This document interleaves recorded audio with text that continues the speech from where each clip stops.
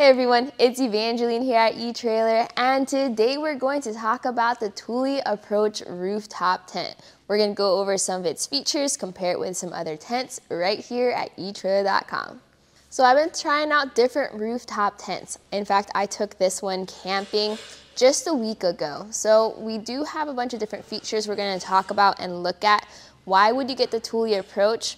Well, where it really excels is three main features. Very easy to set up, very comfortable mattress. The main downside though to the Thule Approach rooftop tent is its price point. It is priced pretty high up for a soft shell tent. Now Thule justifies this by saying it has more modern design features and systems in place. So we're gonna take a look at that and decide for ourselves. Now this tent is available in three different sizes and three different colors, small, medium, large, and then you can pick whichever color matches your style more. My favorite feature is how easy this tent is to set up, and that's why its name is the Thule Approach Tent. This is what it's gonna look like when you get to the campsite, when you get to your spot in the woods or in the mountains where you wanna set up camp. Now from experience, I've had this on during a rainstorm, during snowstorm, and it's held up very well despite being a soft shell cover. So the material for the travel cover is durable. Now setting it up will involve taking that cover off. Unzip the cover with your zipper. If you choose so, you can completely take the cover off. I like to leave it hanging by a corner so I don't have to redo the zippers. But from here, this just lifts off of the tent.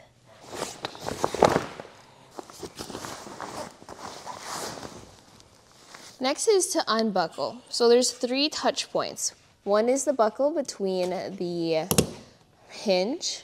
The other one is the buckle for the ladder.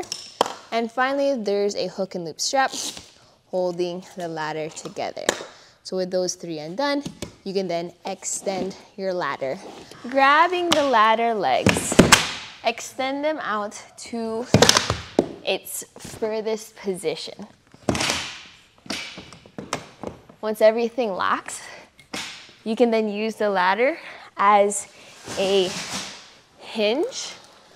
I like to bring it close to the car and then use the ladder as support to bring our platform down.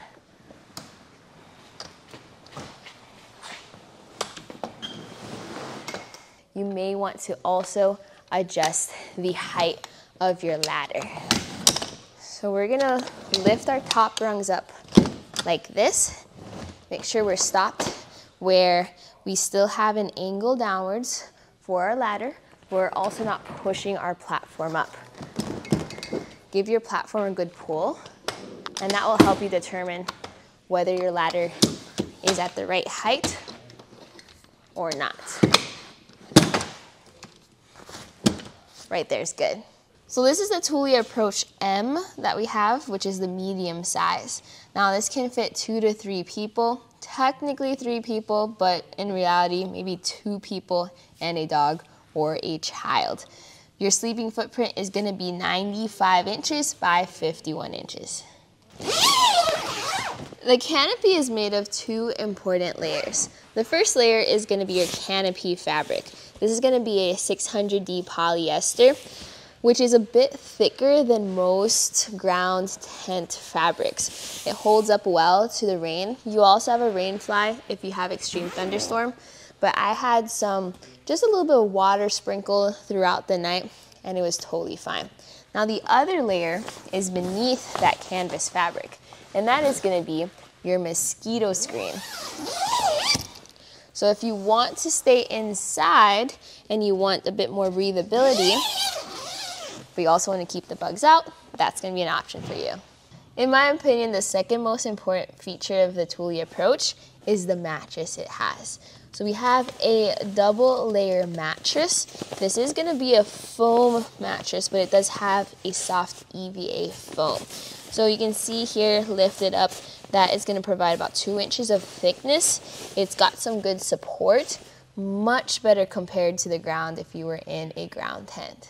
The mattress is custom cut to fit within your tent. For that reason, and because of the sleeping footprint, you would have to get the custom fitted sheets from here at eTrailer for your tent. Make sure to match your tent size. What I do though is I use my own queen size flat sheet and I pair that with my sleeping bag and blankets. On the inside, it has pockets. Technically, you have four mesh pockets. They're really just two pockets sewn together. And this is gonna be a great spot for your accessories, your glasses, your hygiene items, smaller items throughout the night. You are gonna have to lift your larger items up into the tent with you. So just keep that in mind when you're getting things set up. I like to leave a sleeping bag and blankets. Those are perfectly fine to keep folded in your tent. And while you're here, you can also see that we have other zippers with our mosquito screens and our lights, creating a lot of airflow as well as light throughout the entire tent. There's also a window on this side. So on the back side, you have a door similar to what you'll find in the front. And all these windows and all these doors can be secured with their included straps. They have these little dog bones that fit into the hoop in my opinion, it's a very fast setup for all those windows and doors. This also has an included rain fly. So this is gonna be your more waterproof top cover.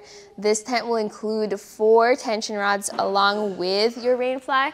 That way if you want a little bit more breeze, even during a rainstorm, you can push up the sides just like this. Or if the rainstorm is a bit too intense, you can batten down the hatches and secure it in the down position. It did rain during one of the nights of my camping trip and I didn't want to open up the windows to get that tension rod out because water was coming down too fast. So I kept my tent in this position. If you want to leave your rainfly on your tent, you can, Without the tension rods, it is still secured by these button snaps. So just secure the top front, the center snaps, and you can even fold up your tent with the rainfly attached. Something that actually impressed me here is how those tension rods are designed. So for your more affordable brands, they'll just have a tiny little notch there. Here with our Thule approach, let's fit that into the pocket and it fits securely into the groove. You can hear it slide in and click. Compared to Thule's old design of U-bolts and nuts, they definitely improved their crossbar clamping system. So this will fit most types of crossbars, factory bars, oval bars, round bars. I currently have aero bars, and this can even fit some Ladderex. As long as your crossbar is no thicker than 46 millimeters, which translates to a little over an inch and three quarters of an inch. So notice here how we have it mostly set up. You get it up to the crossbar, you flip the clamp over into the secured position like that, and then you use your included tool to tighten it down. This is going to be a ratcheting torque tool, so once you reach the required tension, it will click just like that to prevent over tightening of your bolts. Before you install your tent, you do have to decide on if you want this mounted to the passenger side or the driver side. I currently have it off of the passenger side just to make it easier when I get to the campsite. You can also install this off of the rear of your vehicle as long as you install the clamps in their proper position beforehand. As we did put this on this roof, I did notice this was a very hefty rooftop tent there was three of us that were carrying it onto the crossbars. So because of that, be mindful of your roof weight and crossbar weight capacity. We recommend a minimum crossbar capacity of 165 pounds. That's because if you get the small tent, that's already 110 pounds. The medium tent like this, 128 pounds, and the large tent is 150 pounds in tent weight. Now that weight is for your dynamic weight capacity which means you're moving and you have cargo on top of your roof. Once you're parked and you're stopped and the ladder is in the support position, you then enter into the static weight capacity. So the static weight capacity is actually 600 pounds for this tent. Other items that you can find here at eTrailer.com are accessories that are available to be added onto this tent. You can go from humongous accessories like the Approach Annex, which creates an entire room around your ladder. You can also get smaller accessories like shoe organizers, which attach to the bottom platform. And that way, as you climb up onto your tent, you can put your shoes in that spot. Something I like to do too is I like to use little carabiners and utilize the hooks that are on the bottom of your platform. That way if you want to put a bag or a light, you can do so. There are also holes along the bottom of the platform. So if you have items that use M6 hardware, those can bolt right in. So compared to uh, other Thule tents that have a slide to slide those accessories through, you're gonna have to utilize those bolt holes instead. So while I really liked the extra little features Thule added to their things to make this a lot more easy to use, I'm not entirely sold on if it justifies that extra price point. That is gonna depend on where you're going and what features are important to you. I would actually compare this with some other rooftop tents that I'm familiar with, like the Yakima Skyrise HD or the predecessor of the approach, which is the Thule Explorer Kukenam. So the Yakima Skyrise HD has similar footprint and space for people. It also has a very easy to use clamping system. It's just clamps that go around your crossbar and you tighten it down with a knob. No tools required. The downside though to the Skyrise HD is it doesn't have the same modern large canopy design, plus the Rainfly tent poles are a struggle to use. Now, if you have other Yakima accessories though, then it might be something worth considering. If you want something that's a lot more affordable and tried, test, and true, that's where the Thule Explorer Kukenam can be something worth looking into.